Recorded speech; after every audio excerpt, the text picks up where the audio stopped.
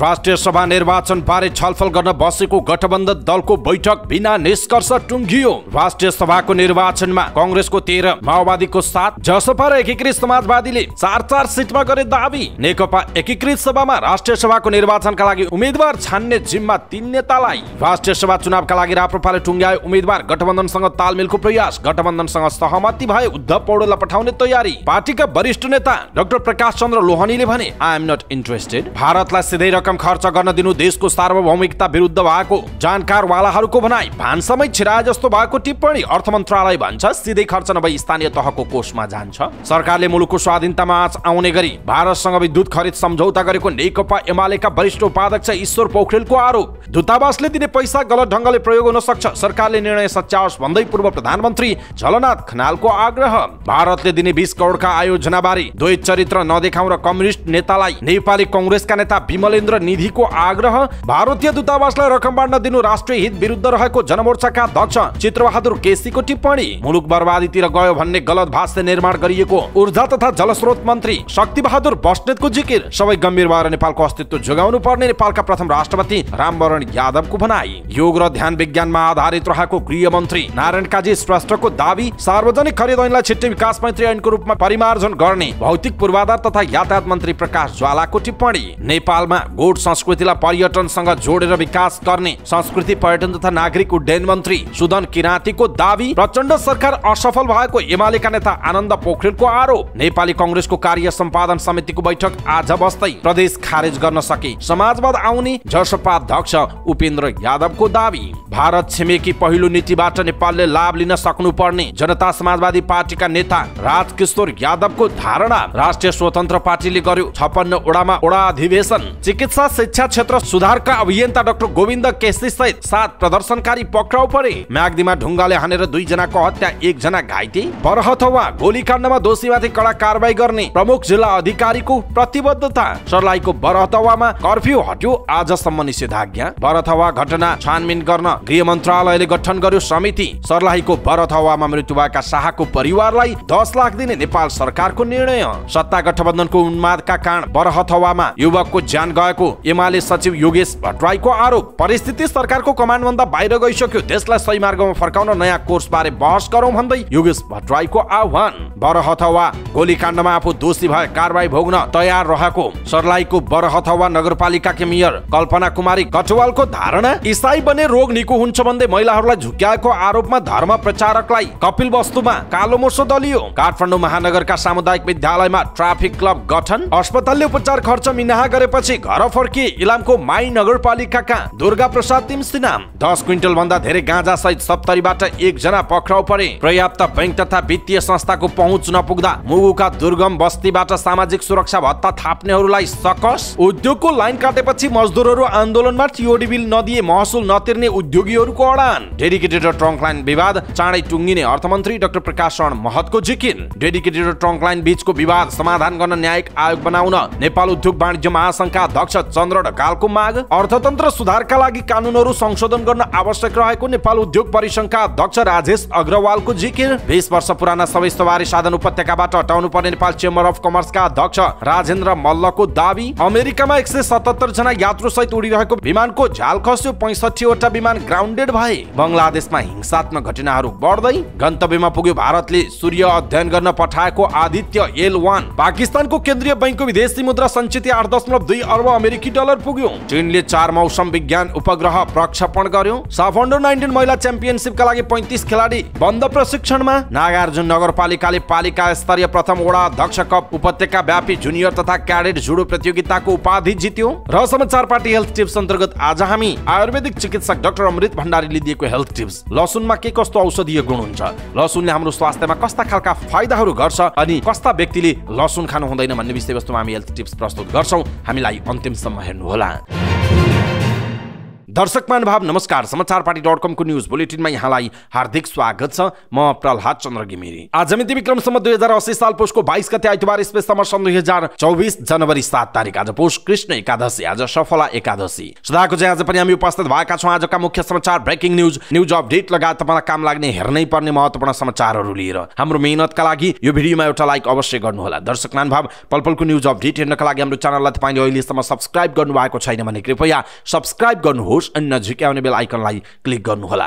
दैनिक रूपमा हेर्नुहुन्छ भने रेगुलर भनेर लेख्नुहोला आज पहिलोचोटि हेर्दै हुनुहुन्छ भने फर्स्ट टाइम भनेर लेखिदिनुहोला। देशभित्रबाट हेरिरहनु भएको छ भने आफू रहेको गाउँठाउँ सहर जिल्लाको नाम लेख्नुहोला विदेशमा हुनुहुन्छ भने कुन देशबाट हामीलाई हेरिरहनु भएको छ त्यो कुरा तलको कमेन्ट बक्समा कमेन्ट गर्नुहोला।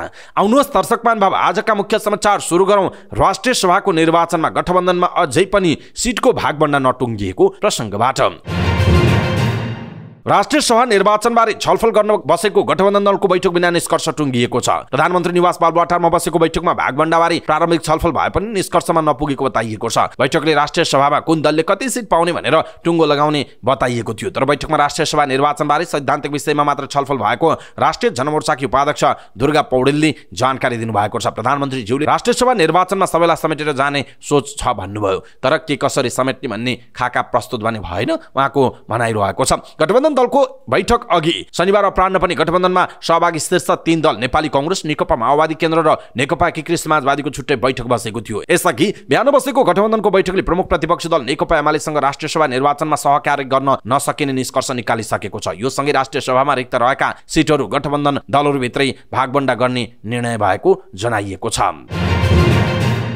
यसैबीच आगामी माघको एघार गते हुने राष्ट्रिय सभा निर्वाचनका लागि मिलेर चुनाव लड्ने समझदारी गरेका सत्ता गठबन्धनका दलहरूले सिटको संख्यामा आफ्नो दावी पनि पेश गरेका छन्। शनिबार बिहान प्रधानमन्त्रीको सरकारी निवास बालुवाटारमा बसेको नेपाली कङ्ग्रेस नेकपा माओवादी केन्द्र जनता समाजवादी पार्टी र एकीकृत समाजवादीले राष्ट्रिय सभा चुनाव हुने उन्नाइस सिटमा आफ्नो दलले पाउनुपर्ने सिट संख्या दावी गरेका हुन्। बैठकमा सहभागी स्रोतका अनुसार कङ्ग्रेसले तेह्र नेकपा माओवादी केन्द्रले सात जनता समाजवादी पार्टी र एकीकृत समाजवादीले चार चार सिटमा दावी गरेका छन्। अहिलेको बैठकमा आफ्नो दावी पेश गर्ने काम भयो। अब फेरि अर्को बैठक बसेर सरकारमा सहभागी अन्य दलहरू सहितको बैठक बस्छ स्रोतले भनेको छ शनिबारसम्म नभए आइतबारसम्म कुरा मिल्न सक्छ उहाँको भनाइरहेको छ।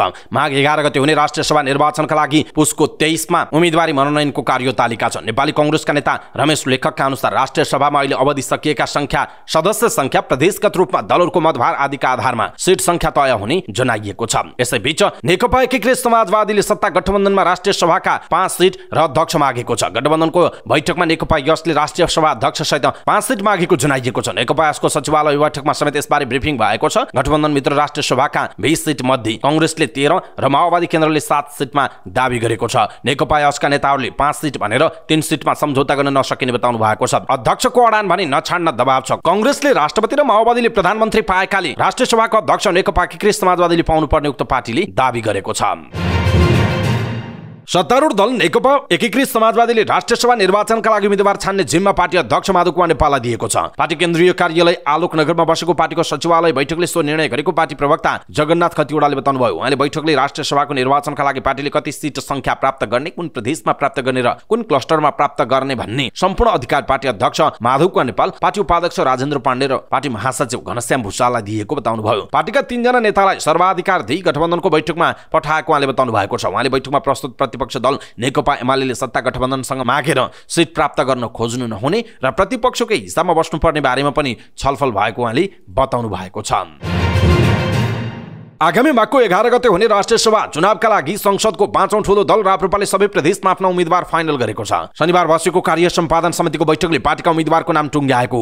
संसदीय दलको बैठकले उम्मेद्वारहरूको नाम सिफारिस गरेको थियो। त्यसपछि बसेको कार्य सम्पादन समितिको बैठकले उक्त सिफारिसलाई सदर गर्नुका साथै सत्ता गठबन्धनसँग तालमेलको पहल गर्ने निर्णय समेत गरेको छ। गठबन्धन नेताहरूसँग छलफल गर्ने जिम्मेवारी कार्यवाहक अध्यक्ष बुद्धिमान तामाङलाई दिएको स्रोतले बताएको छ। राप्रपा अध्यक्ष राजेन्द्र लिङदेन मलेसियामा हुनुहुन्छ। उहाँ राष्ट्रिय सभा चुनावका लागि मनोनयन दर्ता गराउने भोलिपल्ट चौबिस गति मात्र फर्कने कार्यक्रम छ। त्यसैले कार्यवाहक अध्यक्षको भूमिकामा रहनुभएका तामाङलाई सबै जिम्मेवारी दिएको स्रोतका अनुसार तामाङले यसअघि नै प्रधानमन्त्री पुष्पकमल दाल प्रचण्ड र नेपाली कङ्ग्रेसका सभापति शेरबहादुर देउवासँग भेटेर एक राउन्ड कुराकानी गरिसक्नु भएको छ। तर ठोस समझदारी भने हुन सकेको छैन। गठबन्धन दलभित्रै भागबण्ड मिलाउन सकस परिरहेकाले राप्रपालाई समेट्न त्यति सहज देखिँदैन। तर कोशी सरकारको स्थायित्व लगायतका विभिन्न कारणले राप्रपालाई पुरै उपेक्षा गर्ने पक्षमा पनि प्रचण्ड देउबा नरहेको बताइएको छ। गठबन्धन सहित राप्रपाले एक सिटको माग गर्नेछ। यदि त्यसमा सहमति भएको खण्डमा उद्धव पौडेललाई पठाइने राप्रपा स्रोतले बताएको छ। पार्टीका वरिष्ठ नेता डाक्टर प्रकाश चन्द्र लोहनी राष्ट्रिय सभा छिर्ने दौडबाट आफै अलग हुनुभएको छ। कार्य सम्पादन समिति बैठकमा लोहनीले राष्ट्रिय सभा चुनावमा लड्न इच्छुक नरहेको बताउनुभयो स्रोतका अनुसार उहाँले भन्नुभयो आई एम नट इन्ट्रेस्टेड अरू साथीहरूलाई सहयोग गर्छु। गठबन्धनको सहयोग बिना राप्रपाले राष्ट्रिय सभामा एक सिट पनि जित्ने अवस्था छैन। यद्यपि गठबन्धनसित सहमति नभई पार्टीले सबै प्रदेशमा उम्मेद्वार उठाउने स्रोतले बताएको छ। भारतीय विदेश मन्त्री यस जयशङ्करको नेपाल भ्रमणको सिलसिलामा भएको बिस करोडसम्मको आयोजनालाई भारतले नै खर्च गर्न पाउने सम्झौता यति बेला विवादमा परेको छ। सरकारले स्थानीय तह मार्फत सिधै भारत सरकारलाई बिस करोड रुपियाँ खर्च गर्न दिएको भन्दै चर्को आलोचना भइरहेको छ। कुनै पनि विदेशी राष्ट्रको सहयोग परराष्ट्र मन्त्रालय हुँदै सम्बन्धित निकायमा पुग्नु पर्नेमा भारतीय दूतावासले सिधै स्थानीय तहमा खर्च गर्न पाउने गरी व्यवस्था हुनु राष्ट्रहित विपरीत भएको टिप्पणी सुरु भएको हो। पूर्वाधारविद डाक्टर सूर्यराज उपाध्यायले यस्तो खालको सम्झौताले देशको कूटनैतिक संयन्त्रका कर्मचारीहरूको कार्यशैली फेल भएको सङ्केत गरेको बताउनुभयो। पूर्व प्रधानमन्त्री जलनाथ कनालले पनि यस्तो खालको सम्झौता सार्वभौम सत्ता र स्वतन्त्र राष्ट्रको हित विपरीत भएको बताउनुभयो उहाँले यो सम्झौता लज्जास्पद भएको भन्दै विज्ञप्ति निकालेर खण्डन गर्नुभएको छ। सूर्य बहादुर थापा प्रधानमन्त्री हुँदादेखि यस्तो खालको सम्झौताको विरोध गर्दै आउनुभएका नेकपा एमालेका सांसद रघुजी पन्तले अहिलेको सम्झौतामा पनि आपत्ति जनाउनु भयो। उहाँले बजेटमै नदेखिने अनुदानले आर्थिक सम्प्रभुता र राष्ट्रिय सम्प्रभुतामा आँच पुर्याउने तर्क गर्नुभयो। तत्कालीन राजा ज्ञानेन्द्र शाहले प्रधानमन्त्री बनाउनु भएका सूर्यबहादुर थापाको पालामा यस्तो खाले सहयोगको रकम सीमा तिन करोड रुपियाँ रहेको थियो। पछि बाबुराम भट्टराई प्रधानमन्त्री हुँदा पाँच करोड रुपियाँ पुर्याइयो अहिले प्रधानमन्त्री पुष्पकमल दाल प्रचण्डको पालामा भारतले यस्तो खालको सहयोग रकम बढाएर बिस करोड रुपियाँ पुर्याएको जनाइएको छ।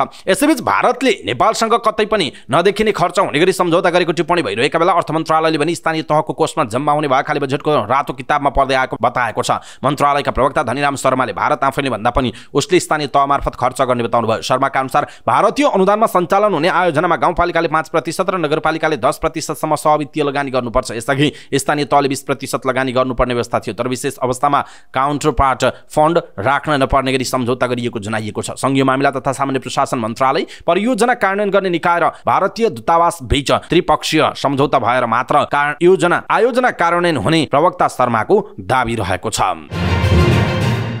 प्रमुख प्रतिपक्ष दल नेकपा एमालेका वरिष्ठ उपाध्यक्ष ईश्वर पोखरेलले सरकारले नेपालको स्वाधीनतामा आँच आउने गरी भारतसँग विद्युत खरिद सम्झौता गरेको आरोप लगाउनु भएको छ। भारतीय विदेश मन्त्री एस जयशङ्करको नेपाल भ्रमणका क्रममा सरकारले गरेको विद्युत खरिद सम्झौतामा नेपालको स्वाधीनतामाथि आँच आउने खालको प्रावधान रहेको आएको जिकिर रहेको छ। पार्टी निकट राष्ट्रिय जनसांस्कृतिक महासंघ नेपालले जासल स्थित पार्टी मुख्यालयमा आयोजना गरेको कार्यक्रममा बोल्दै वरिष्ठ उपाध्यक्ष पोखरेलले भारतीय विदेश मन्त्रीसँगको छलफलबारे सरकारले आफ्नो पार्टीसँग छलफल समेत नगरेको भन्दै आपत्ति जनाउनु भयो उहाँले सत्तारूढ गठबन्धनले मुलुकका स्वाधीनता र स्वतन्त्रतामा मुद्दालाई धुमिल बनाउने काम गरेको भन्दै देशलाई चिर्नका लागि राष्ट्रिय शक्तिहरू एकताबद्ध हुनुपर्ने बताउनुभयो वरिष्ठ उपाध्यक्ष पोखरेलले सत्तारूढ गठबन्धनले सामाजिक सद्भावमाथि आँच पुर्याउने काम गरिरहेको दावी गर्दै त्यसलाई जोगाउनका लागि पनि सबैलाई एमालेमा गोलबन्द हुन पनि अनुरोध गर्नु भएको छ। वरिष्ठ उपाध्यक्ष पोखरेलले मुलुकको समृद्धिका लागि केपी ओली नेतृत्वको सरकारले अगाडि बढाएका महत्वपूर्ण विकास आयोजनाहरूलाई वर्तमान सरकारले अगाडि बढ्न नदिएको आरोप समेत लगाउनु भएको छ। यसैबीच नेकपा एकीकृत समाजवादी नेकपा यसका सम्मानित नेता एवं पूर्व प्रधानमन्त्री झलनाथ खनालले भारतीय दूतावासले दिने भनेको बिस करोड रुपियाँ गलत ढङ्गले देशहित विपरीत प्रयोग गर्न सक्ने भन्दै चिन्ता व्यक्त गर्नुभएको छ। दूतावासले दिएको पैसा गलत ढङ्गले प्रयोग हुन सक्ने भन्दै उहाँले सरकारलाई यो निर्णय सच्याउन आग्रह गर्नुभयो। पूर्व प्रधानमन्त्री समेत रहनुभएका खनालले भन्नुभयो त्यसरी दिने पैसा अनेकन रूपमा प्रयोग हुन सक्छ। गलत ढङ्गले प्रयोग हुन सक्ने सम्भावना बढी हुन्छ। सरकारले यो कुरालाई सच्याओस् नेकपा यसको सचिवालय बैठकपछि सञ्चारकर्मीहरूसँग कुराकानी गर्दै उहाँले भारतले अनुदान दिने भए सरकारका योजनामा दिनुपर्ने तर त्यसरी दूतावासबाट पैसा बाँड्ने संस्कार राम्रो नभएको बताउनु भयो उहाँले छिमेकीहरूसँगको सम्बन्ध समान ढङ्गले अगाडि बढाउनु पर्ने पनि बताउनु भयो यसैबीच नेपाली कङ्ग्रेसका नेता तथा पूर्व गृहमन्त्री विमलेन्द्र निधिले भारत सरकारको तर्फबाट दिइने बिस करोड रुपियाँसम्मको अनुदान परियोजनाहरूका सन्दर्भमा गलत टिप्पणी नगर्न चेतावनी दिनुभएको छ। निधिले प्रेस विज्ञप्ति जारी गर्दै पहिलादेखि नै सञ्चालित र अहिले रकम बढेर आएका यस्ता परियोजना सकारात्मक रहेको भन्दै मनमौजी ढङ्गले सम्झौता भएको भन्नु आधारहीन रहेको बताउनुभयो। निधिले यस्ता अनुदानबाट नेपालका कम्युनिस्ट पार्टीका नेताहरू र सबै पार्टीका नेताका साथै समाजका विभिन्न क्षेत्रका अगुवाले पनि आ आफ्नो प्रभाव क्षेत्रमा विद्यालय पुल र क्याम्पस भवनहरू निर्माण गराएको बताउनु भएको छ। उहाँले आफै भारतीय राजदूत वा अधिकारी मार्फत उद्घाटन गराउने र अहिले आएर त्यसको विरोध गर्ने द्वैत चरित्र नदेखाउन आग्रह समेत गर्नुभयो। निधिले भारतीय विदेश मन्त्री एस जयशङ्करको भ्रमणका उपलब्धिबारे दुई पेज लामो विज्ञप्ति जारी गर्दै यस्तो आग्रह गर्नुभएको हो। राष्ट्रिय जनमोर्चाले नेपालका विकास योजनामा सिधै भारतीय दूतावासले बिस करोड रुपियाँसम्म बजेट दिन पाउने गरी भएको सम्झौताको विरोध गरेको छ। पुस उन्नाइसमा भएको नेपाल भारत परराष्ट्र मन्त्री स्तरीय संयुक्त आयोगको बैठकले उच्च प्रभावयुक्त सामुदायिक विकास आयोजनामा भारतको नेपाल स्थित दूतावासले बिस करोड रुपियाँ सोझै दिन पाउने समझदारी गरेको थियो। राष्ट्रिय जनमोर्चाका अध्यक्ष चित्रबहादुर केसीले एक विज्ञप्ति जारी गरी यो सम्झौता सार्वभौम सत्ता सम्पन्न र स्वतन्त्र मुलुकका लागि लज्जाजनक र राष्ट्रिय हित विरुद्ध रहेको बताउनु भएको छ। कुनै पनि मुलुकको दूतावासलाई सोझै रकम बाँड्ने अधिकार हुँदैन र हाम्रो जस्तो मुलुकमा त्यस प्रकारको अधिकार दिन पनि सकिँदैन। उहाँले भन्नुभएको छ नेपाल र नेपालीको विकासका लागि कुन ठाउँमा कति बजेट विनियोजन गर्ने त्यो नेपालको विशुद्ध आन्तरिक मामिला हो उहाँको भनाइ छ। नेपालमा सोझै बिस करोड रुपियाँसम्मको योजना निर्माणका लागि रकम वितरण गर्न पाउने गरी भारतलाई अधिकार दिने कुरा नेपालको राष्ट्रिय सार्वभौम सत्ता र अखण्डताका लागि घातक सिद्ध हुने पनि अध्यक्ष केसीले बताउनु भयो तसर्थ उक्त सम्झौता खारेज गर्न जोड दिन्छौँ उहाँले विज्ञप्तिमा भन्नुभएको छ। दर्शक महानुभाव खास गरी भारत सरकारले राजदूतावास मार्फत बिस करोडका योजनाहरू सिधै गर्ने भनेर जुन सम्झौता भएको छ अहिले यसको सर्वत्र विरोध भइरहेको छ। देश तथा विदेशमा बस्नुभएका यहाँहरू चाहिँ यो विषयलाई के भन्नुहुन्छ कृपया एउटा कमेन्ट तलको कमेन्ट बक्समा कमेन्ट गर्नुहोला। ऊर्जा जलस्रोत तथा सिंचाई मन्त्री शक्तिबहादुर भष्टते मुलुक बर्बादीतिर गयो भन्ने गलत भाष्य निर्माण भएको बताउनु भएको छ। काठमाडौँमा आयोजित उद्योग व्यापार महासङ्घको दोस्रो साधारण सभालाई सम्बोधन गर्दै उहाँले मुलुकको आवश्यकता सम्भावना जनअपेक्षा अनुसार पर्याप्त काम नभए तापनि विगतको तुलनामा मुलुक प्रगतितिर अगाडि बढिरहेको दावी गर्दै मुलुक बर्बादीतिर गयो भन्ने गलत भाष्य निर्माण भएको बताउनु भयो आज मुलुकमा बर्बाद नै भइसक्यो। हिजो अस्ति सम्पूर्ण हिसाबले ठिकठाक थियो तर अहिले चौपट भइरहेको छ भन्ने एउटा भाष्य निर्माण भएको छ। अर्कोतिर सबै ठिक छ भन्ने पनि सुन्छौँ तर हिजोभन्दा आज राम्रो भइरहेको छ। यद्यपि मुलुकको आवश्यकता सम्भावना र जनअपेक्षाको अनुपातमा हेर्दा त्यो अपर्याप्त छ। उहाँले भन्नुभयो हामीले अझै पनि मेहनत गर्नुपर्नेछ। तथ्याङ्क वा तथ्यहरूले पनि त्यही भन्छ। तर हिजो र आजको जुन तुलना गरेर हेर्दैमा मुलुक बर्बादीतिर गयो भन्न मिल्दैन। मुलुक प्रगतितिर नै अगाडि बढिरहेको छ। यसलाई अझै थप गति दिन भने आवश्यक छ। मन्त्री बस्नेतको भनाइ छ। मन्त्री बस्नेतले विगतमा बन्द भएका सटरहरू अब खुल्ने अवस्था निर्माण निर्माण भइरहेको जिकिर गर्नुभयो। अर्थतन्त्रको सुधारका लागि गरेको मेहनतको प्रतिफल स्वरूप देशमा रेमिटेन्स बढिरहेको उहाँको जिकिर छ। अर्थतन्त्रमा सुधार ल्याउन निकै ठुलो मेहनत चाहिन्छ। त्यसको प्रतिफल स्वरूप देशमा रेमिटेन्स बढिरहेको छ अर्थतन्त्र चलायमान हुँदै गइरहेको छ ब्याङ्कको ब्याजदर घटेको छ सहकारी र लघुवित्तको समस्या सम्बोधन भइरहेको छ निर्माण व्यवसायको रोकिएको भुक्तानी पठाइसकिएको छ। अब व्यवसायहरू उत्साहपूर्वक अगाडि बढ्ने परिस्थिति निर्माण हुँदैछ बस्नेतको भनाइरहेको छ।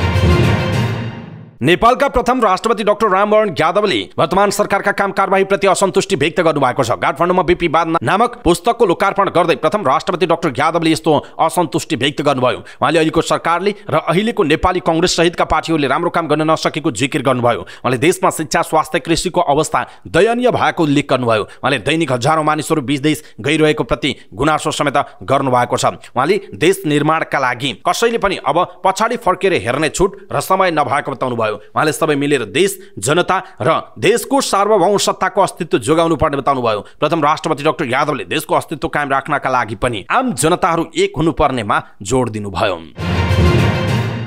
उपप्रधान एवं गृहमन्त्री नारायण काजी श्रेष्ठले योग र ध्यान कुनै खास धर्मसँग मात्र सम्बन्धित विषय नभएको बताउनु भएको छ। काठमाडौँमा आयोजना गरिएको ध्यानद्वारा ऊर्जा जागरणको एक दिवसीय कार्यशालामा बोल्दै गृहमन्त्री श्रेष्ठले केही धर्मले आत्मसात गरेको भए पनि गृह मन्त्रालयले योग शिविर चलाउँदा धर्मसँग नजोड्ने बताउनु भयो योग र ध्यान कुनै धर्मसँग सम्बन्धित कुनै खास धर्मसँग मात्र सम्बन्धित विषय होइन। श्रेष्ठले भन्नुभयो यो साइन्टिफिक फेलोमेन हो। धर्महरूमा पनि यो हुन सक्छ। विभिन्न धर्महरूले यसलाई आत्मसात गरेका छन् तर हामी गृह मन्त्रालय अन्तर्गत ध्यान शिविर चलाउँदा यसलाई धर्मसँग जोड्दैनौँ। उहाँको छ योग शिविर धर्म मान्ने र नमान्ने दुवैको भएको उल्लेख गर्दै गृहमन्त्री श्रेष्ठले यो शुद्ध विज्ञानमा आधारित रहेको बताउनु भयो विज्ञानमा आधारित योग र शिविरलाई सञ्चालन गर्दै जाँदा जीवन विज्ञानलाई त्यस्तो संस्थाको रूपमा रोजेको पनि उहाँले बताउनु भएको छ।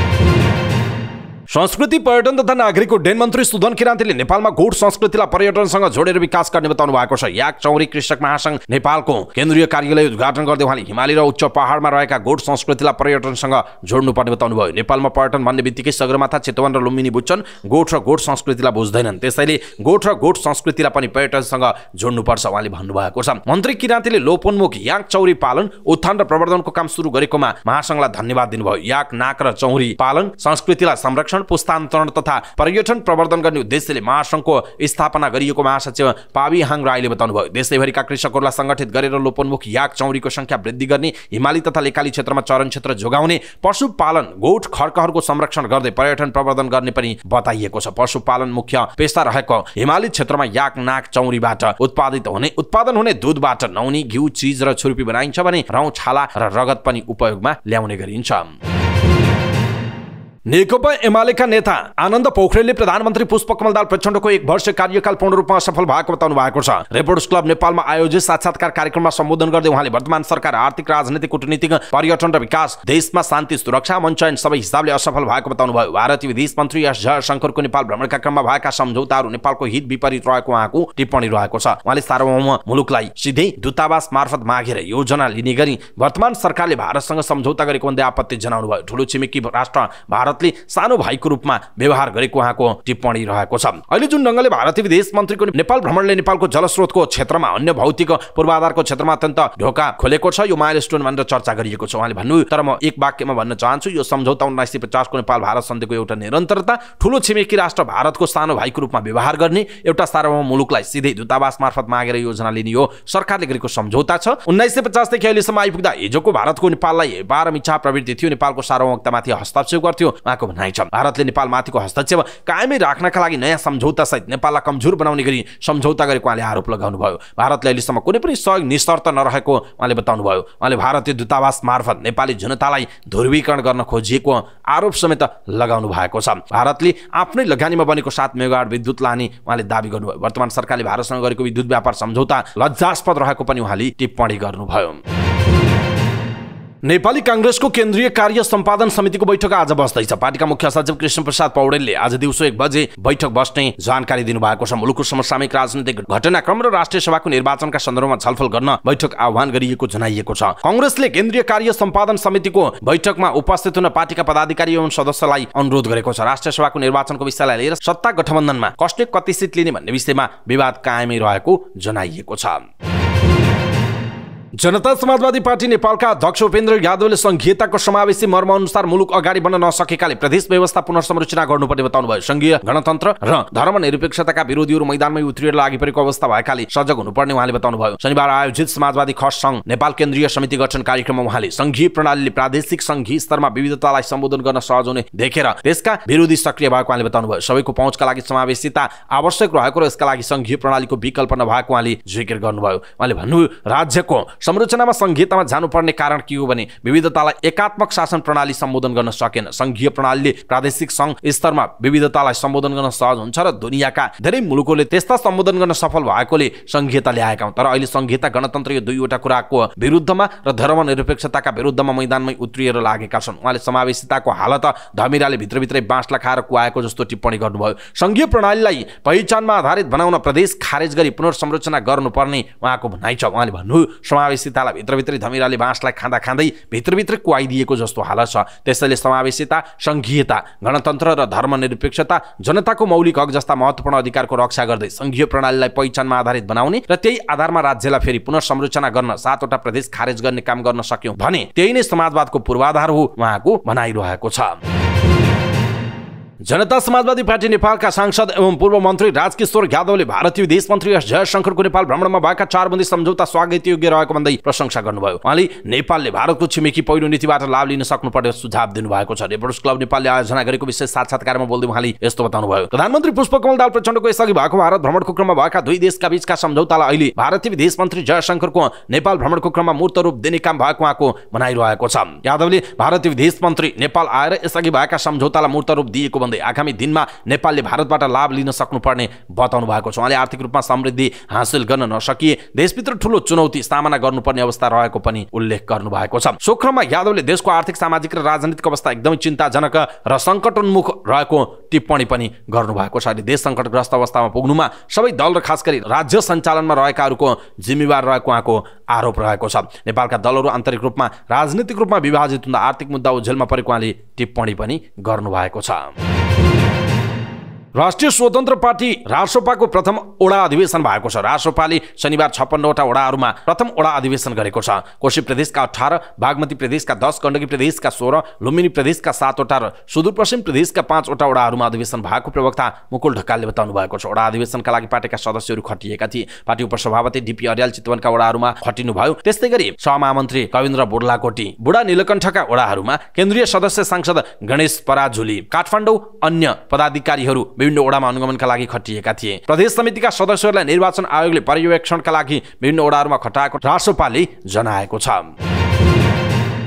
चिकित्सा शिक्षा क्षेत्र सुधारको माग राख्दै आन्दोलन गर्दै आउनुभएका डाक्टर गोविन्द केसी सहित सातजना प्रदर्शनकारीलाई प्रहरीले पक्राउ गरेको छ। काठमाडौँको माइतीगञ्जमा सशस्त्र द्वन्द्वका पीडितलाई न्याय एवं सम्पूर्ण नेपालीहरूको स्वास्थ्य सेवा र शिक्षामा समान पहुँच लगायतका माग राखेर आन्दोलनमा उत्रिनु भएका डाक्टर केसी सहितका प्रदर्शनकारी पक्राउ परेको डाक्टर केसी निकट सञ्जीव कार्कीले जानकारी दिनुभयो। शनिबार देउसु सुशासनका लागि अभियानले सरकारलाई दबावमूलक कार्यक्रम आयोजना गरेको थियो। सोही अभियानमा सहभागी हुनुभएका डाक्टर केसी सहित पुकार बम शशि विक्रम कार्की लगायतका प्रदर्शनकारी पक्राउ परेको जनाइएको छ। निषेधित क्षेत्र तोड्न खोजेको भन्दै प्रदर्शनकारीलाई प्रहरीले नियन्त्रणमा लिएको जनाएको छ।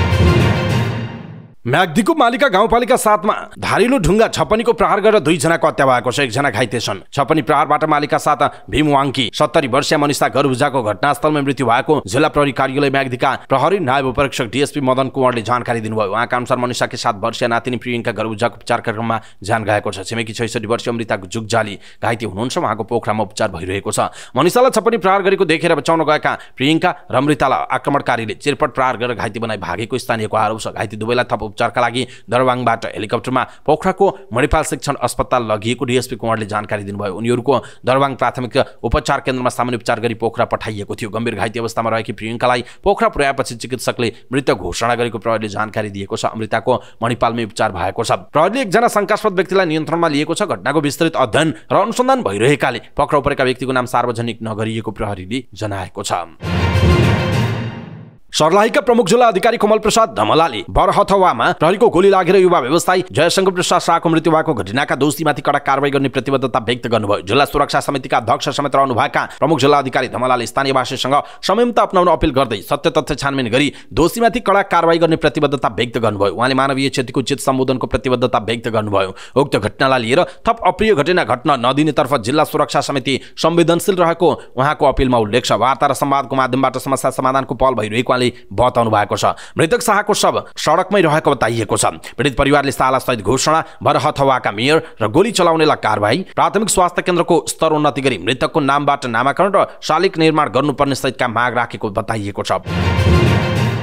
यसैबीच जिल्ला प्रशासन कार्यालय सर्लाहीले बरहथवा क्षेत्रमा लगाएको कर्फ्यू हटे पनि निषेधाज्ञा जारी रहेको छ। आजसम्मका लागि निषेधाज्ञा लगाइएको निषेधाज्ञाको समयमा भेला हुन सभा तथा गतिविधि गर्न नपाइने जनाइएको छ। नगरपालिकाको पूर्वमा सीतापुर जाने बाटोको ब्रह्मस्थान पश्चिममा हजरिया जाने बाटोको नहर दक्षिणमा हनुमान मन्दिर र उत्तरमा सोती चोर्निया पुलभित्र निषेधाज्ञा लागू भएको जनाइएको छ। आठ बजेपछि निषेधाज्ञा हटाउने प्रशासनले जनाएको छ।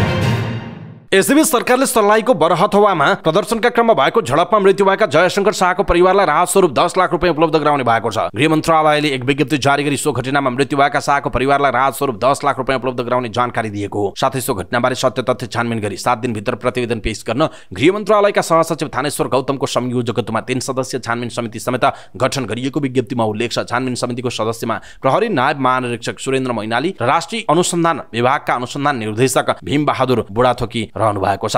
शुक्रबार बरहथवा नगरपालिका पाँचमा प्राथमिक स्वास्थ्य केन्द्र स्तरोन्नति गर्ने कि नगर्ने भन्ने विषयलाई लिएर भएको प्रदर्शनमा प्रहरीको गोली लागेर तीस वर्षीय शाहको मृत्यु भएको थियो।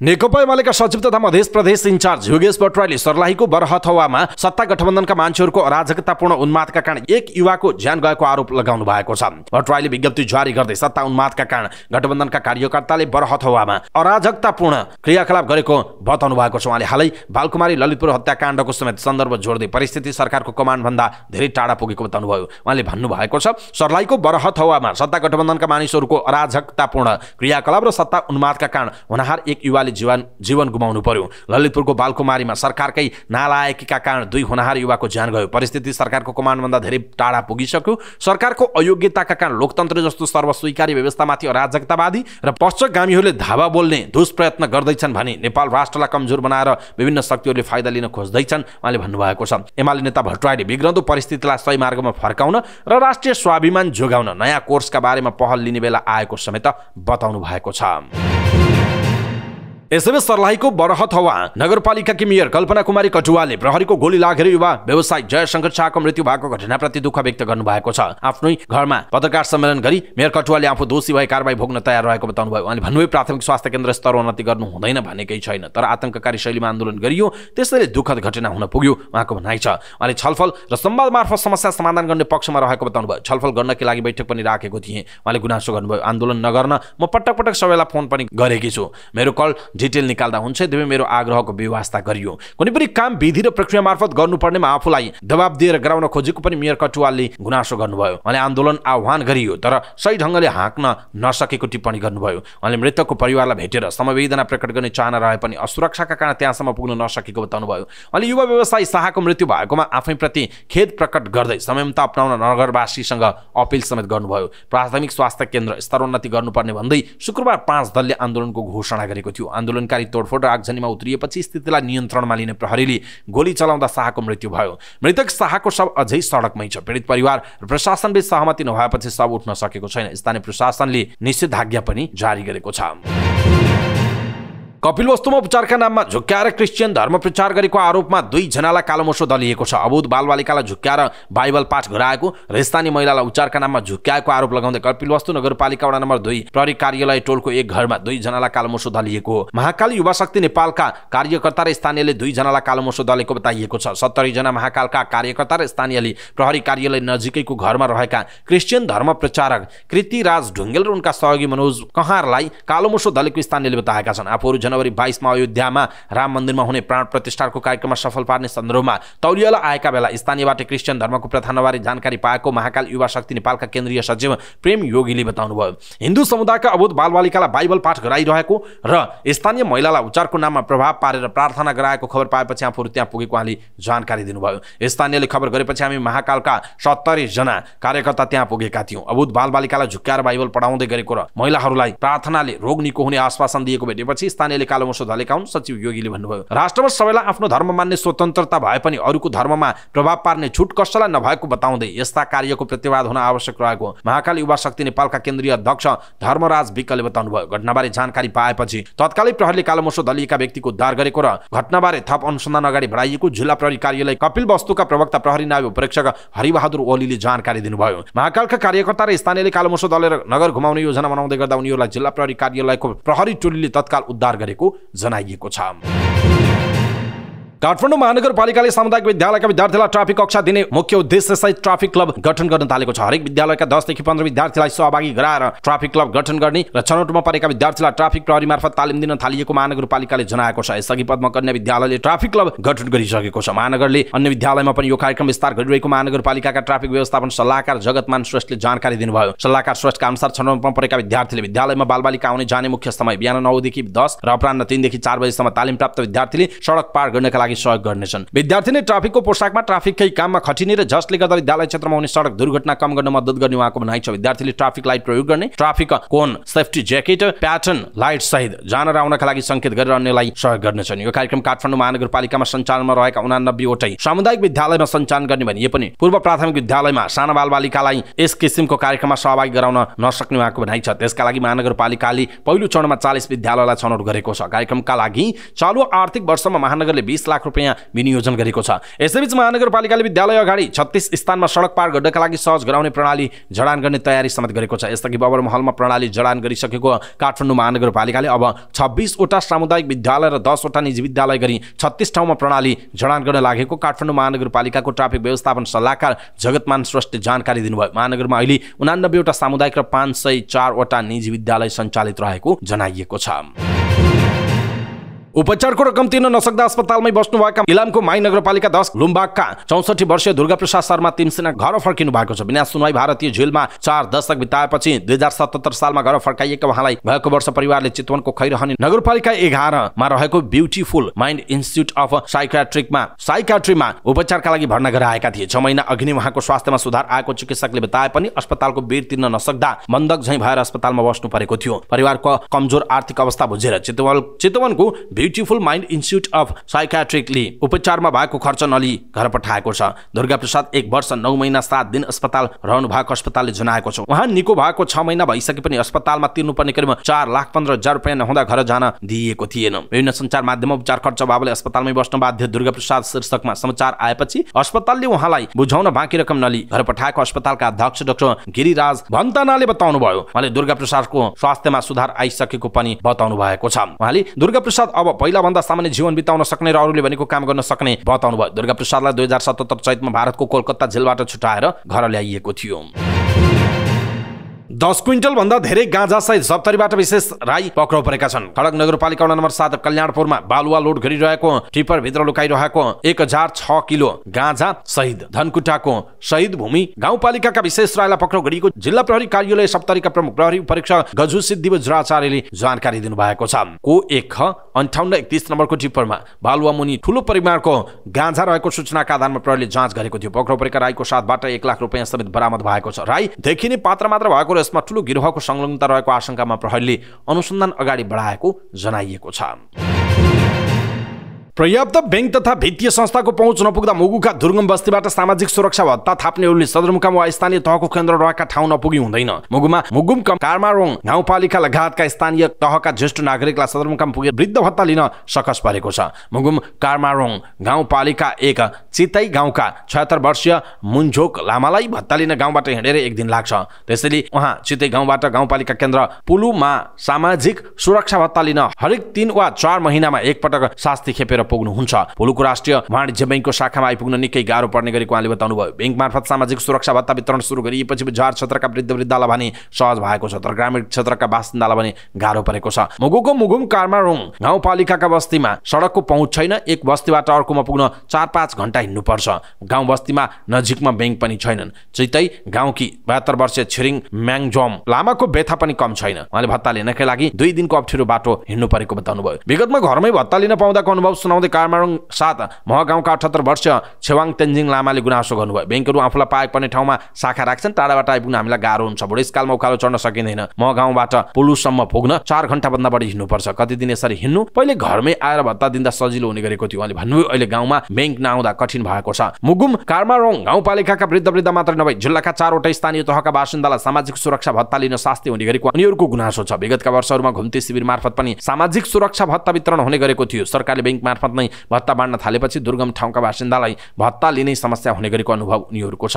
काठमाडौँ गाउँपालिकाका दक्ष छिरिङ क्याप्ने लामाले आफूहरू नियमभित्रै रहेर काम गर्न बाध्य भएको बताउनु भएको छ। ब्याङ्क मार्फत सम्बन्धित व्यक्तिको ब्याङ्क खातामै भत्ता दिने सुनिश्चित भएपछि भत्ताको दुरुपयोग नहुने र पारदर्शी हुने उहाँको धारणा रहेको छ। तर कतिपय गाउँमा अझै सडक सञ्जाल नजोडिएकाले दुर्गमका बासिन्दाले शास्ति पाइरहेको आफूले देखेको उहाँले बताउनु भयो नेपाल विद्युत प्राधिकरण र डेडिकेटेड र ट्रङ्क लाइन सुविधा लिएका उद्योगहरूको विद्युतको लाइन काटिएपछि सुनसरी मोरङ औद्योगिक करिडोरमा रहेका उद्योगमा काम गर्ने मजदुरहरूले आन्दोलन सुरु गरेका छन्। देशकै ठुलो धागो कारखाना रिलायन्स स्पिनिङ्स मिलमा बिजुली काटिएपछि त्यहाँ कार्यरत मजदुरहरूले समस्या समाधानको माग राख्दै अनसन सुरु गरेका हुन्। बिहिबारबाट गेटमा रिले अनसन सुरु गरेका उनीहरूले शुक्रबार सडक अवरुद्ध पार्ने प्रयास गरेका थिए। पोस्टको छ गतिबाट उद्योगको लाइन काटेपछि त्यहाँ कार्यरत तिन हजार बढी श्रमिक काममा जान पाएका छैनन्। उद्योगको आवास गृहमा समेत बिजुली काटिएपछि त्यहाँ बस्ने एक हजार बढी परिवारलाई समस्या भएको मजदुर अमरलाल यादवले बताउनुभयो उहाँका अनुसार बिजुली काटिएपछि आवासमा बस्दै आएका मजदुरका परिवारका बालबच्चाको पठन पाठनमा समेत समस्या भएको छ। विद्युतको समस्या समाधान गरिदिन माग गर्दै मजदुरहरूले जिल्ला प्रशासन कार्यालय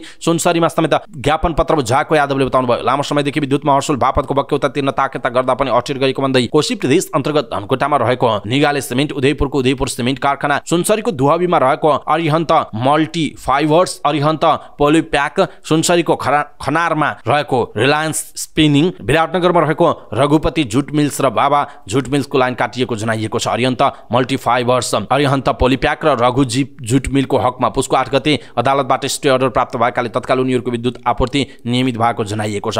प्राधिकरणले पहिलो चरणमा एक अर्ब रुपियाँभन्दा बढी बक्यौता रहेको उद्योगहरूको विद्युत लाइन काटेको थियो। दोस्रो चरणमा पाँच करोडभन्दा बढी विद्युत बक्यौता भएका उद्योगहरूको लाइन काटेको जनाइएको छ। नेपाल विद्युत प्राधिकरणका कोशी प्रदेश कार्यालयका अनुसार काटिएका लाइन सात उद्योगले विद्युत महसुल बापत प्राधिकरणलाई दुई अर्ब सन्तानब्बे करोड अन्ठानब्बे लाख अन्ठानब्बे हजार एक सय चौरात्तर रुपियाँ तिर्न बाँकी छ। लाइन काटिएका उद्योगहरू प्रदेशमा सञ्चालित ठुला उद्योगमा पर्छन्। डेडिकेटेड फिडर एवं ट्रङ्क लाइनबाट विद्युत उपभोग गरेर प्रिमियम सहितको महसुल नतिरेको भन्दै सात उद्योगमध्ये पहिलो चरणमा पुसको छ गते रिलायन्स स्निपिङ मिल्सको लाइन काटिएको थियो। प्राधिकरणका अनुसार रिलायन्स स्पिनिङको एक अर्ब चौरानब्बे करोड छब्बिस लाख बयानब्बे हजार नौ सय तेत्तिस रुपियाँ विद्युत महसुल बक्यौता रहेको छ। सो उद्योगमा बिजुली आपूर्ति अहिलेसम्म हुन सकेको छैन। देशकै ठुलो धागो कारखाना बन्द हुँदा त्यहाँ कार्य तिन हजार श्रमिक आन्दोलित भएको जनाइएको छ अर्थमन्त्री डाक्टर प्रकाश शरण महतले डेडिकेटेड र ट्रङ्क लाइन विवाद सरकारले चाँडै टुङ्ग्याउने बताउनु भएको छ। काठमाडौँमा आयोजित कार्यक्रमलाई सम्बोधन गर्दै उहाँले उद्योगीहरूको विद्युत लाइन काटेको कुरालाई सरकारलाई सरकारले चाँडै टुङ्गो लगाउने बताउनु भयो। उहाँले विद्युतको लाइन काट्ने कुराले धेरै उद्योग व्यवसाय प्रभावित भएको गुनासो आइरहेकाले यसको चाँडै समाधान निकाल्ने बताउनु भयो। उहाँले डेडिकेटेड र ट्रङ्क लाइन विवादलाई इज्जतको प्रश्न बनाउन नहुने बताउनु भयो। उहाँले डेडिकेटेड र ट्रङ्क लाइन विवादको विषय थप अन्यल बनाउन नहुने बताउनु भएको छ। अर्थमन्त्री डाक्टर महतले अर्थतन्त्र बिस्तारै चलायमान भइरहेकाले थप सकारात्मक कुराहरूको आवश्यकता रहेको बताउनु भएको छ नेपाल उद्योग वाणिज्य महासङ्घका अध्यक्ष चन्द्र ढकालले उद्योगी व्यवसाय र नेपाल विद्युत प्राधिकरण बीच विवाद समाधानका लागि न्यायिक आयोग बनाउन माग गर्नु भएको छ। अहिले खास गरेर उद्योगी व्यवसाय र नेपाल विद्युत प्राधिकरण बीचको विवाद जुन लामो समयदेखि जारी रहेको छ यो करिब दुई हप्ता भइसकेको छ। उहाँले भन्नुभयो अब यो उद्योग वाणिज्य महासङ्घले सुरुमा नै एक्जिस्टिङ मेकानिजम चाहे अर्धन्यायिक निकाय एनइए एआरसी मन्त्रालय भनौँ अथवा कुनै अन्य निकायबाट यदि सल्युसन हुनसक्छ भने त्यो सल्युसन गर्नुपर्छ। यदि सम्भावना नै छैन भने र उद्योगी र प्राधिकरण बीच विवाद भएर लामो समय जाने जाने हो भने एउटा न्यायिक हिसाबको आयोग बनाएर त्यसलाई सेग्रिकेट गरेर कुन कुन कतिपय इस्युहरू भन्नुभएको छ प्रमाण भए तिर्छौँ भन्नुभएको छ लोड सेडिङ अघि र पछिका कुराहरू पनि छन् ट्रान्समिसन लाइन ट्रान्सफर गरेको कारणबाट छ। यसले के देखाउँछ भने यो सबैलाई एकै ठाउँमा राखेर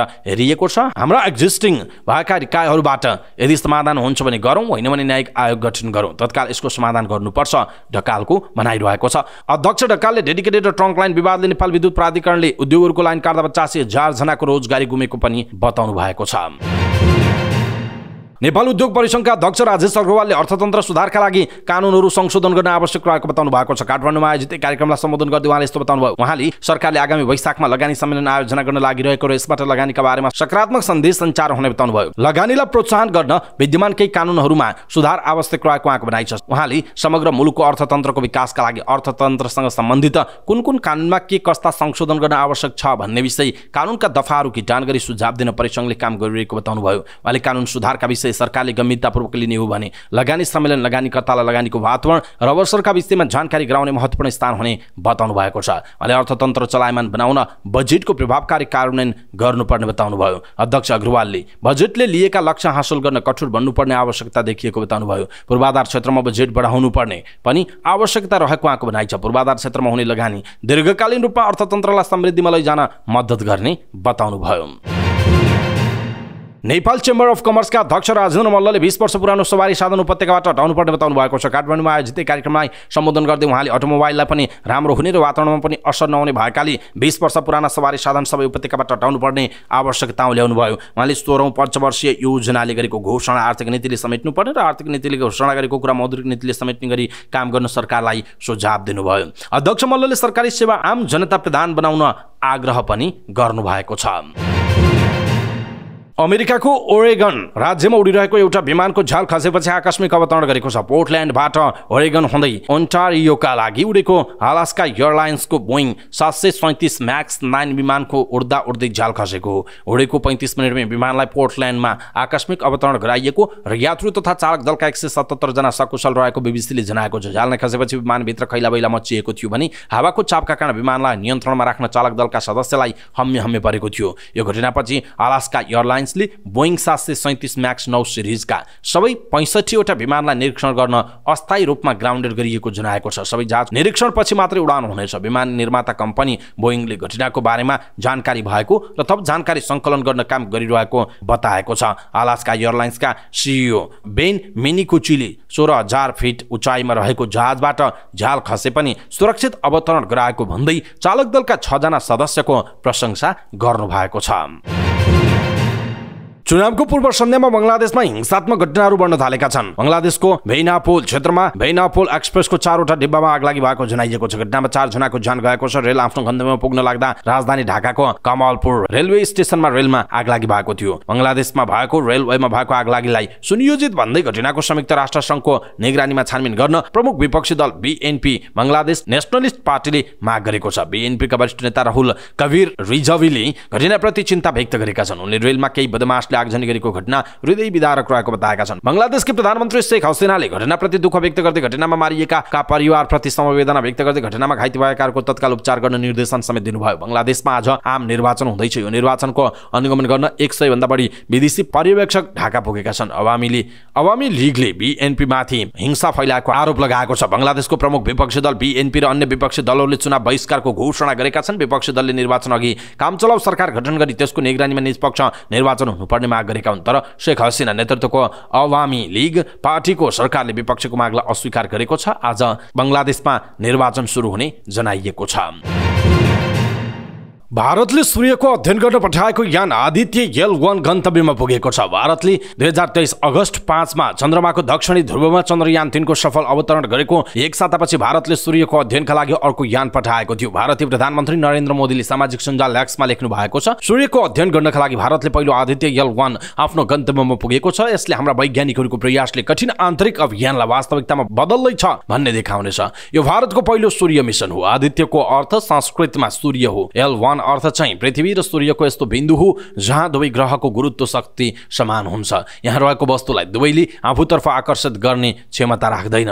त्यही स्थानमा रहेर आदित्य यल वानले पृथ्वीले जसरी नै सूर्यको परिक्रमा गर्नेछ। यसअघि अमेरिकी अन्तरिक्ष निकाय नासा र युरोपेली अन्तरिक्ष एजेन्सी इएसएले पनि सौर्य मिसन पठाइसकेको छ। भारतीय अन्तरिक्ष यान कुल सातवटा पे लोड लिएर गएको छ। यसले फोटोस्पेयर र क्रोमोस्पेयर नामले चिनिने सूर्यको सबैभन्दा बाहिरी सतहको अध्ययन गर्नेछ। यसले अन्तरिक्षको मौसम बारे पनि अध्ययन गर्नेछ अन्तरिक्षमा आउने सौर्य आँधी र त्यसको कारण पत्ता लगाउने कोसिस गर्नेछ। एकपटक आफ्नो कक्षमा स्थापित भएपछि यसले सूर्यलाई निरन्तर र प्रष्ट रूपमा अवलोकन गरिरहन सक्ने भारतको अन्तरिक्ष अनुसन्धान निकाय इसरोले बताएको छ। उसले भनेको छ यसले सौर्य आँधीलाई नजिकबाट अध्ययन गर्ने र रियल टाइममा अन्तरिक्षको मौसममा के असर पर्छ भनेर जानकारी दिनेछ भनेर भनिएको छ। पाकिस्तानको केन्द्रीय ब्याङ्कको विदेशी मुद्रा सञ्चित बढेर आठ दशमलव दुई अर्ब अमेरिकी डलर पुगेको छ। स्टेट ब्याङ्क अफ पाकिस्तान एसबिपीले आफ्नो विदेशी मुद्रा सञ्चित चार सय चौसठी मिलियन अमेरिकी डलरले बढेर उन्तिस डिसेम्बर दुई हजार तेइसमा आठ दशमलव दुई बिलियन डलर पुगेको जनाएको छ। वाणिज्य ब्याङ्कहरूसँग रहेको खुद विदेशी सञ्चित करिब पाँच अर्ब डलर पुगेको केन्द्रीय ब्याङ्कले जनाएको छ। एसबिपीका अनुसार दक्षिण एसियाली देशसँग रहेको कुल तरल विदेशी सञ्चित करिब तेह्र दशमलव दुई अर्ब डलर रहेको जनाइएको छ।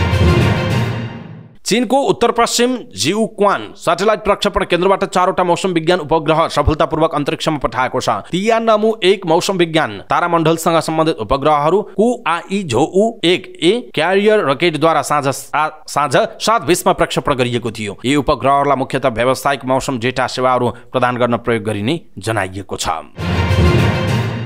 साफ अन्डर नाइन्टिन महिला च्याम्पियनसिपका लागि अन्डर नाइन्टिन राष्ट्रिय महिला टोलीको बन्द प्रशिक्षणमा पैँतिस खेलाडीलाई बोलाइएको छ। मुख्य प्रशिक्षक बाल गोपाल साउखलले शुक्रबार बन्द प्रशिक्षणका लागि पैँतिस खेलाडी छनौट गरिएको अखिल नेपाल फुटबल सङ्घ एन्फाले जनाएको छ। जिल्ला प्रदेश र केन्द्रीय स्तरमा छनौट प्रक्रियापछि बन्द प्रशिक्षणका लागि खेलाडी छनौट गरिएको एन्फाले जनाएको छ। छनौट भएका खेलाडीहरूलाई नागरिकता वा पासपोर्ट लिएर आइतबार पुसको बाइस गते एन्फा कम्प्लेक्समा उपस्थित हुन एन्फाले जानकारी गराएको छ। साफ अन्डर नाइन्टिन महिला च्याम्पियनसिप आगामी फेब्रुअरी दुईदेखि आठसम्म बङ्गलादेशको ढाकामा हुनेछ जहाँ नेपाल र बङ्गलादेश सहित भारत र भुटान गरी चाल टोलीले प्रतिस्पर्धा गर्ने जनाइएको छ। प्रारम्भिक टोलीमा गोलकिपरमा लीला जोशी करुणा बुढाथोकी सुजाता तामाङ राधिका ओली रहनु भएको छ। डिफेन्डरमा दिव्य यशमाली मगिर सीता रोकाया अमिता भुल रेणु लिम्बू गङ्गा रोकाया सानु माया वाइबा प्रसाना भुजेल रोजिता विष्ट सिमरन राई सरिता कुमारी नाथ माया मास्के दिपा मगर रूपा लिम्बू रहनु भएको छ। मिडफिल्डरमा भू कुमारी खड्का झुमा विश्वकर्मा बिर्सना चौधरी सुशीला केसी सविता मण्डल काजल स्याङतान भावना परियार सारहा वज्राचार्य पुनम चेम्जोङ रहनु भएको छ।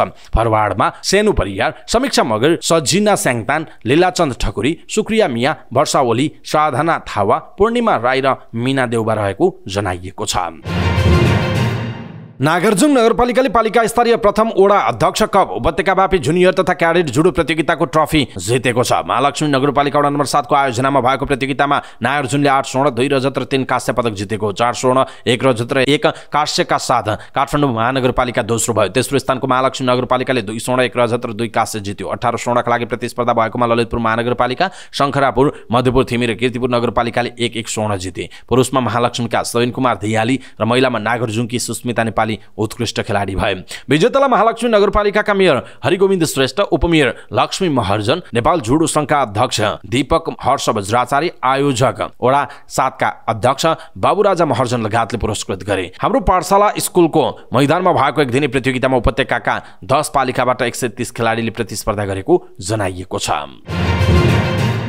समाचार पार्टी न्युज बुलेटिनमा पालो भएको छ समाचार पार्टी हेल्थ टिप्स। आजको समाचार पार्टी हेल्थ टिप्समा हामीले लसुनमा के त्यस्तो औषधीय गुण हुन्छ अथवा लसुन खाना हाम्रो स्वास्थ्यमा कस्तो खालको फाइदा हुन्छ अनि कस्ता व्यक्तिले लसुन चाहिँ प्रयोग गर्नु हुँदैन भनेर हेल्थ टिप्स प्रस्तुत गर्छौँ। हामीलाई अन्तिमसम्म हेर्नुहोला। सबै नेपालीहरूमा पुर्याउनका लागि हेल्थ टिप्स आफ्नो फेसबुक ट्विटर लगायतका सामाजिक सञ्जालमा सेयर गर्नुहोला। इष्टमित्र र आफन्तजनलाई मेसेन्जरमा पठाइदिनुहोला। लसुनको स्वादबारे त धेरै बखान गर्नु पर्दैन। काँचो खाँदा यो पर र पिरो स्वादको हुन्छ जब यसलाई दाल तरकारीमा मिसाइन्छ स्वाद बदलिन्छ। मूलत नेपाली भान्सामा लसुन लसुनको प्रयोग स्वादकै लागि गरिन्छ। यद्यपि यो औषधीय गुणले पनि भरिपूर्ण मानिन्छ त्यसैले त प्राचीन कालदेखि नै औषधिकै रूपमा लसुनको प्रयोग हुँदै आएको पाइन्छ। लसुनलाई संस्कृतमा रसोन भनिन्छ किनभने धरतीमा हुने छ रस पिरो तितो नुनिलो टर्रो अमिलो र गुलियो। मध्ये लसुनमा पाँच रस हुन्छ। लसुनमा अमिलो रस मात्र हुँदैन।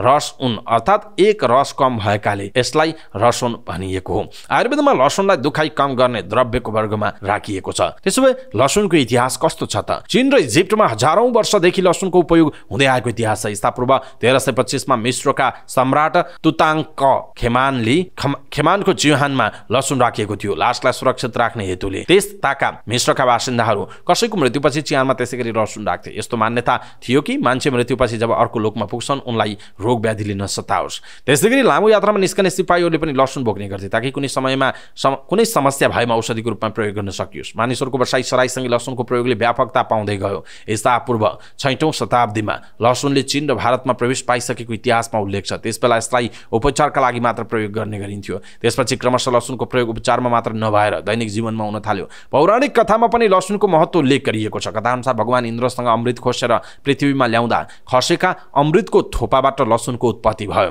यी कथाहरूबाट के अनुमान गर्न सकिन्छ भने सदियौँदेखि लसुनलाई औषधीय वनस्पतिको रूपमा प्रयोग गरिन्थ्यो। त्यसो भए के हुन्छ त लसुनमा? मेडिकल रिसर्च अनुसार काँचो लसुनमा मुख्यतः एलिस एल्सिन भन्ने यौगिक पाइन्छ। यो त्यही तत्त्व हो जसमा एन्टिब्याक्टेरियल जीवाणुनाशक र एन्टिफङ्गल ढुसीनाशक गुण हुन्छ। यसले साथै लसुनमा फोस्फरस जिङ्क पोटासियम र म्याग्नेसियम जस्ता लवण पदार्थ पनि भरपुर हुन्छ। सल्फर पदार्थ हुने भएकाले लसुनको गन्ध तिखर हुन्छ। के गर्छ लसुनले? त्यसो त दाल तरकारीमा लसुनको प्रयोग गरिरहेकै हुन्छौँ हामी। जसबाट प्रत्यक्ष परोक्ष लाभ मिलेको हुनसक्छ। त्यसबाहेक बिहान खाली पेटमा दुई चार केस्रा लसुन खाँदा फाइदा गर्छ। लसुनमा भएको एलिसिन तत्त्वले विभिन्न किसिमको सङ्क्रमणबाट बचाउन सहयोग गर्छ। टाइफाइड ज्वरो एलर्जीको सङ्क्रमण हुन दिँदैन। शरीरमा हुने दुखाइ कम गर्न पनि लसुनको प्रयोग गरिन्छ। सुनिएको वा दुखेको ठाउँमा लसुन राखेर तताएको तेलले मालिस गर्न सकिन्छ। काँचो लसुनमा एन्टिअक्सिडेन्ट सल्फोहाइड्रेट तत्त्व पाइन्छ जसले शरीरबाट विषाक्त पदार्थ बाहिर निकाल्न मद्दत गर्छ। लसुनको नियमित प्रयोगले रक्तनलीमा जम्मा भएको खराब कोलेस्ट्रोल बाहिर निकाल्छ। यसले मुटुमा हुन सक्ने जोखिम कम गर्छ लसुन उचित मात्रामा सेवन गर्दा रक्त नलीमाथि हुने दबाव कम हुन्छ। रक्तचाप नियमित गराउन पनि लसुन उपयोगी मानिन्छ। कतिपय छालाको समस्यामा लसुनको प्रयोग गर्न सकिन्छ। त्यसो यो सबैले खाना हुन्छ त? त्यो पनि होइन। कसले खान हुँदैन त लसुन? लसुनको एलर्जी रगतको कमी र बिरामीले रगत पातलो बनाउने औषधि सेवन गरिरहेका छन् भने पनि लसुनको सेवन नगर्दा उपयुक्त हुन्छ। किनकि यस्तो अवस्थामा लसुन सेवन गरेमा अन्य समस्या बढ्न सक्छ अल्सर भएमा पनि यसको सेवन उचित हुन्छ। औषधिको रूपमा लसुन प्रयोग गरिरहँदा कुनै पनि औषधि खाइरहेका वा उपचार गराइरहेकाले चिकित्सकको परामर्श भने लिनुपर्छ। दर्शक मानव आज हामीले यहाँहरूलाई लसुनको बारेमा इतिहास अनि कस्तो औषधीय गुण हुन्छ यसले के फाइदा गर्छ कस्ता व्यक्तिले खानु हुँदैन भनेर हामीले आयुर्वेदिक चिकित्सक डाक्टर अमृत भण्डारीले दिएको हेल्थ टिप्स हामीले यहाँहरूमा प्रस्तुत गऱ्यौँ आजको हेल्थ टिप्स तपाईँलाई कस्तो लाग्यो? आफ्नो कुरा तलको कमेन्ट बक्समा कमेन्ट गर्नुहोला। सबै नेपालीहरूमा पुर्याउनका लागि हेल्थ टिप्स आफ्नो फेसबुक ट्विटर लगायतका सामाजिक सञ्जालमा सेयर गर्नुहोला। इष्टमित्र र आफन्तजनलाई मेसेन्जरमा पठाइदिनुहोला। अवस्था दर्शक भाव समाचार पार्टी डट कमको न्युज बुलेटिन अहिलेका लागि यति नै। हामीले प्रस्तुत गरेका समाचारहरूप्रति तपाईँको धारणा के छ? आफ्नो धारणा तलको कमेन्ट बक्समा कमेन्ट गर्नुहोला। हाम्रो मेहनतका लागि यो भिडियोमा एउटा सानो लाइक अवश्य गर्नुहोला। दर्शक भाव पलफुलको न्युज अपडेट हेर्नका लागि हाम्रो च्यानललाई तपाईँले अहिलेसम्म सब्सक्राइब गर्नुभएको छैन भने कृपया सब्सक्राइब गर्नुहोस् अनि नजिकै आउने बेल आइकनलाई क्लिक गर्नुहोला। समाचार पार्टी डट कमको न्युज बुलेटिन नेपाली समय अनुसार आज साँझ छ बजे लिएर फेरि हामी उपस्थित हुनेछौँ पलफुलको न्युज अपडेटका लागि। समाचार पार्टी डट कम हेर्दै गर्नुहोस्। नमस्कार।